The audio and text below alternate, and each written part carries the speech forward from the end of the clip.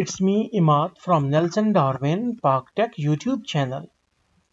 In this video tutorial we will learn about how to make a parallel circuit within the DC AC lab online simulator. So first you must know that in parallel circuit there are different paths for the flow of current. Obviously the current used to divide on the node part. But in order for better understanding, we need to make one simple circuit, okay? First, we will take our voltage and power providing component, that is the battery. So this is our first component of the circuit. Then we need to take our lamps. These are our lamps. So two lamps are enough for us. Now either if, if we can rotate them it's far better because we can connect them easily.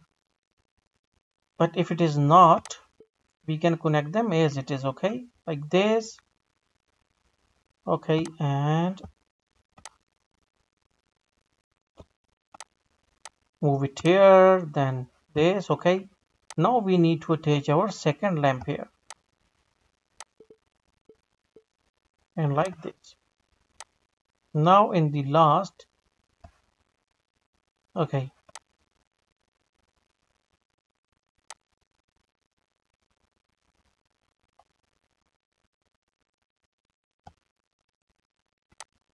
Now we will connect our battery with this lamp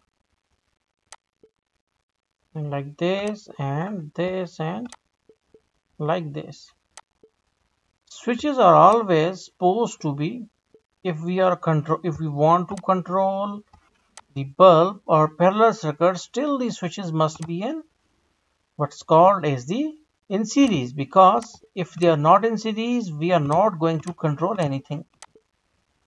So in this way you can see that our 3 ampere used to come inside while okay and after it it divides into 1.5 and 1.5 why it is so? Because the current divide on this node on which the cursor is and then after completing the part it again combine on this node and then again will go into the battery.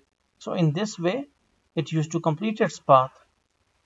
So hopefully you got the concept that how we can make a parallel circuit with the within the DCAC lab online simulator so don't forget to subscribe and thanks for visiting our channel.